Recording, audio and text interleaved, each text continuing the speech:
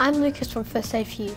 And hi, I'm Patrick, and today we're going to show you how to help someone if they may have been bitten by a snake or funnel web spider.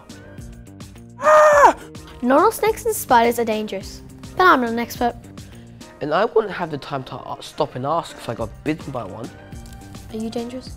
I don't know, is he? So if you were bitten and got really sick really fast, it's always best to assume it was poisonous and we need to get help straight away.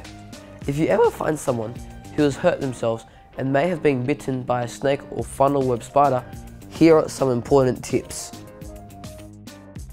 Always make sure the area is safe and try really hard to not panic. Keep the person super still, lying them on the ground, like a statue. It is super important to stay as still as possible because the more they move, the more the poison can move. Never try to find and catch the snake or funnel web spider. We will leave that to the experts.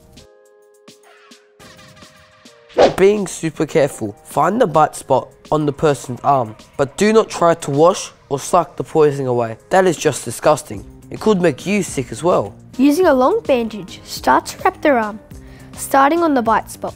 If you have no bandages, sometimes any material will do, even clothes.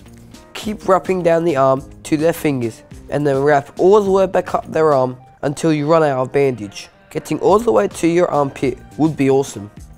Never wrap the bandage too tight. We don't want their blood to stop flowing. We just want to stop the poison moving. Check their fingers to make sure the blood is still flowing. Stay super still until help arrives. But if they keep moving, we may need to get creative to stop them from moving. Snakes and funnel web spiders can be very scary. Always be alert and keep your distance. If we don't hurt them, they hopefully won't hurt us. That's it for today. Thanks for watching. See you next time.